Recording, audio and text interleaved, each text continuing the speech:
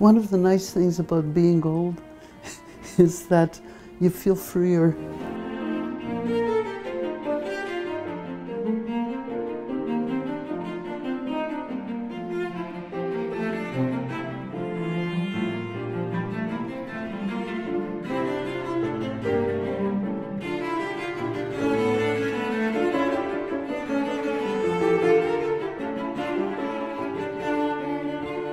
I loved being a mother. And um, I made them pay for their, uh, for their room and board because they were my main models.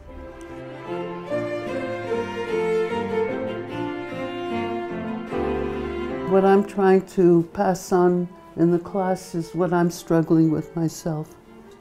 Um, I hate the word teach, it's, it's assuming that uh, you're on top of things, you know.